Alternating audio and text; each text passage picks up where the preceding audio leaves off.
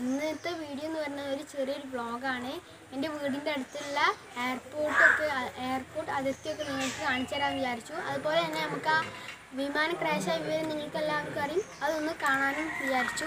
അപ്പോൾ അതാണ് ഇന്നത്തെ ഈ വ്ളോഗ് ഞാനിപ്പോൾ നിൽക്കുന്നത് എന്റെ വീടിന്റെ ടെറസിലാണ്. ഈ ഒരു ഭാഗത്ത് നിന്നാണ് ഫ്ലൈറ്റ് തിരിക്കാറുള്ളത് കേട്ടോ റൺവേയുടെ പരിസരങ്ങളിൽ കുറുക്കനും മയിലും കുരങ്ങനൊക്കെ ഉണ്ട് കേട്ടോ ഞാനിപ്പോൾ പോകുന്നത് എന്റെ കസിന്റെ കൂടെയാണ്. അപ്പോൾ നമുക്കൊന്ന് പോയി നോക്കാം.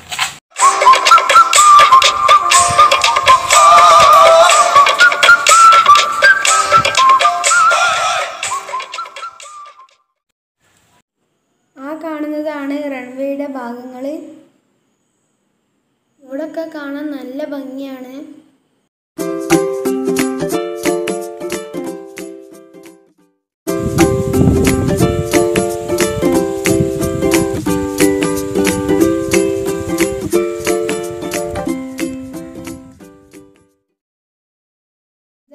ഞങ്ങളുടെ നാട്ടിലുള്ള ടർഫ് ഇതിന്റെ അടുത്ത് തന്നെയാണ് നമ്മുടെ വിമാനം ക്രാഷായി വീണത്.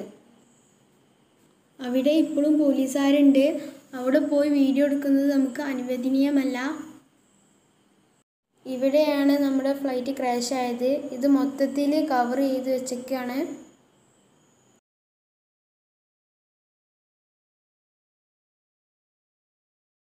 ഇതെന്റെ അളാപ്പന്റെ വീടിന്റെ മുകളിൽ നിന്നുള്ള കാഴ്ചയാണ്. ഫ്ലൈറ്റ് പോകുന്നതിന്റെ തൊട്ടുമുമ്പായിട്ട് കിളികളൊക്കെ പോകാൻ വേണ്ടി ഇവിടെ പടക്കം പൊട്ടിക്കാറുണ്ട്.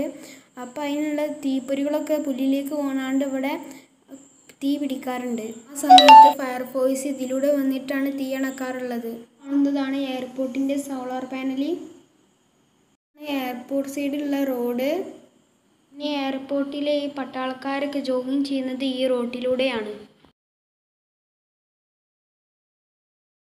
എയർപോർട്ടിലുള്ള മഴവെള്ളം ഇതിലൂടെയാണ് ഞങ്ങളുടെ താമസ സ്ഥലത്തിലേക്ക് ഒഴുകി വരാറുള്ളത്.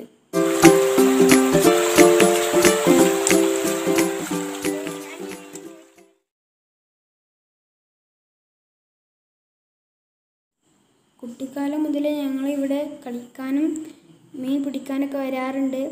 ഇവിടെ ഇപ്പോഴും ആളുകൾ തിരുമാനൊക്കെ വരാറുണ്ട്.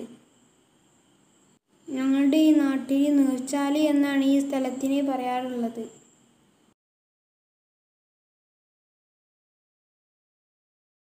കഴിഞ്ഞ പ്രളയത്തിൽ ഈ മതിലൊക്കെ ഇടിഞ്ഞ ഇടിഞ്ഞടിയാണ്ട് ഇവിടെ പുഴ പോലെ വെള്ളം ഒഴുകി വന്നിരുന്നു.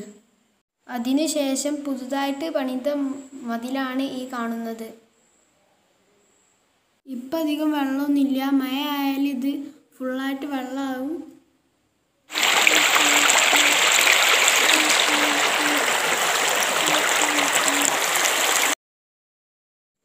ഇതിന്റെ ഇടയിൽ നോക്കിയിട്ട് നല്ല ഭംഗിയുള്ള വള്ളിപ്പുല്ല് തൂങ്ങി നിൽക്കുന്നുണ്ട്.